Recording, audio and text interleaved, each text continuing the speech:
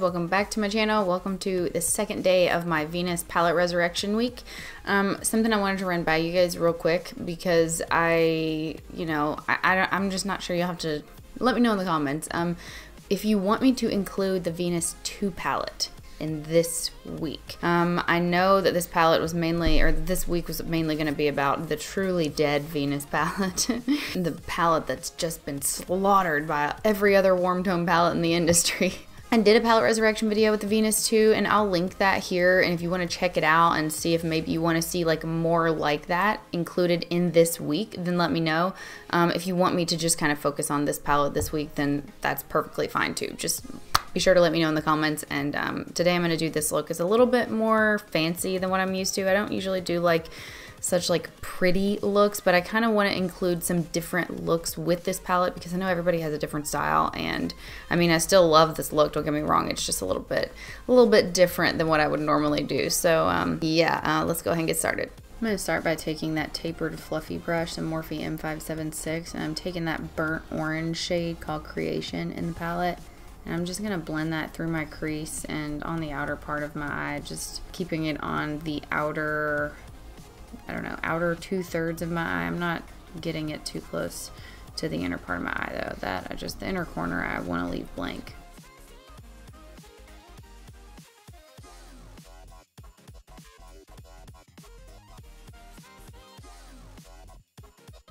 Then I'm going into the shade Muse, which is that burgundy shade. I'm taking that little Morphe M506 mini tapered blending brush and I'm packing that onto the outer corner and then I'm blending out the edges and then packing it on and blending out the edges and just repeating that until it's as deep as I would like it to be.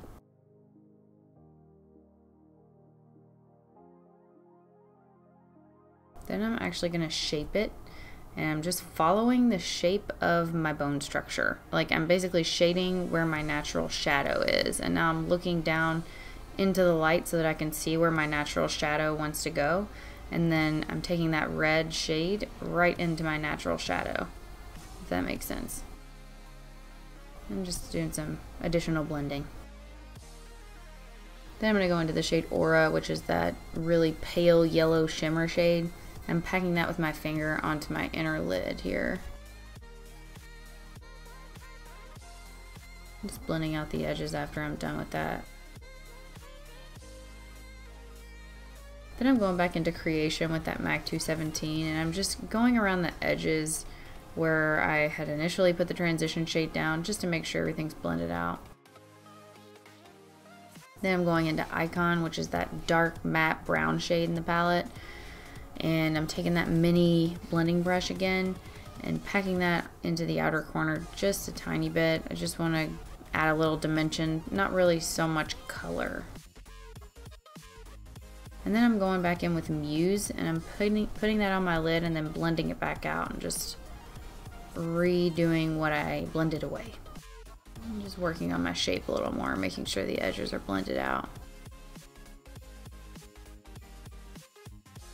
I go back and forth between both eyes quite a bit here until I have them matching shape-wise and color-wise. For foundation, I'm going to use the IT Cosmetics CC cream, and I used to really like this foundation, and lately, like this, when I recently repurchased it, it kind of smells weird. It's like it smells bad. I don't remember it smelling bad. Let me know if you have it and if yours smells bad too. Going in with a concealer, just taking that Real Techniques Dome Shadow Brush to paint that on in any areas I want to add a little bit more coverage. I've been trying not to use so much coverage lately, so I'm just using kind of a fluffy brush to buff that in as opposed to pack it on too heavily. I'm also using it to shape my eyeshadow. If you can see, I'm kind of cleaning up under my eye and then shaping it and following that shape that I've got there already. Making sure I've got that angle right.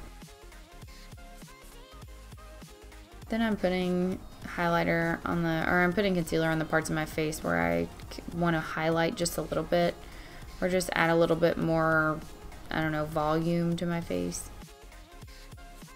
The outer corner of my mouth, I usually put some concealer around my nose, on my chin, And I'm setting that with the Kat Von D blotting powder in the shade Light using the e.l.f. highlighting brush. I'm just to set the parts of my face where I put that concealer mainly. I'll set the rest of my face with a different powder. Then I'm going to take that Hourglass Ambient Lighting Powder in the shade Ethereal Light. I'm taking that Real Techniques Bold Metals powder brush and I'm going to set the rest of my face lightly, basically just enough to blend powder on top of it. I don't want a super powdery look on my face. Finishing up the eyes real quick, I'm going to go back into that burnt orange shade creation. Taking that mini blending brush again and just blending that under my eye, following the shape on my upper lid. I'm just following that same winged shape I've got going on there, making sure it's consistent. Not being shy about how far down I drag that eyeshadow. Then I'm going to go into the shade Muse, which is that burgundy shade. Taking an e.l.f. smudge brush and smudging that onto the outer part of my eyelid. And this is the step, in my opinion, that just kind of brings the entire look together. I'm going to highlight my inner corner with that Aura shade, which is that pale yellow shimmer.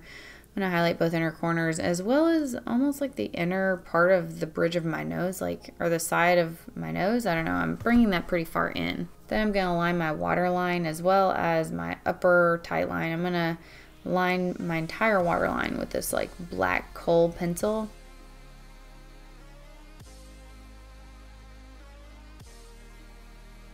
Then I'm to take this Kat Von D eyeliner pen. This is the one in Trooper, like the popular one. And I'm going in between all of my eyelashes. I'm making sure that I'm kind of digging that into my lash line and filling in every single gap that I see between my eyelashes. So it's kind of tedious. Doesn't take too long though. I'm making a tiny, tiny line right on top of my lashes but I don't want to take it too far up. I'm basically just coating my entire lash line. And what that's going to do is it's almost going to make it, it's almost going to look like a lash band, but it's going to make my eyelashes look a lot longer. Like it almost makes your lashes, it almost makes you look like you're wearing fake lashes. And it just does a really, it just shapes your eye. As you can see, those are my real lashes. It looks like I have on a lash band. Anyway, I'm to bronze with a Physicians Formula Butter Bronzer. I'm just trying to use it up at this point.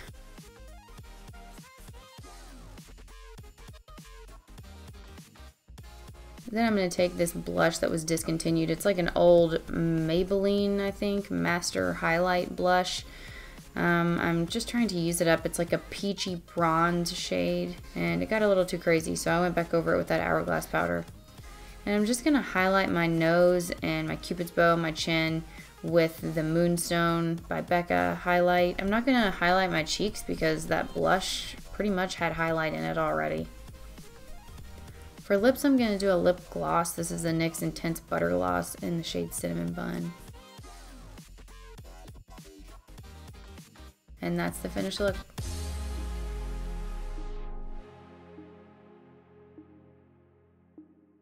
Alright guys, thanks for watching. Be sure to let me know if you want me to include the second Venus palette in this week and I will do that. I can do, you know, a video with that, a couple videos with that, a video or two with both palettes. I mean, it's it's totally just let me know, okay? Anyway, I hope you did like this tutorial. If you did, please give it a thumbs up. If you're not a subscriber and you want to be, just hit the subscribe button on your way out and I'll see you next time.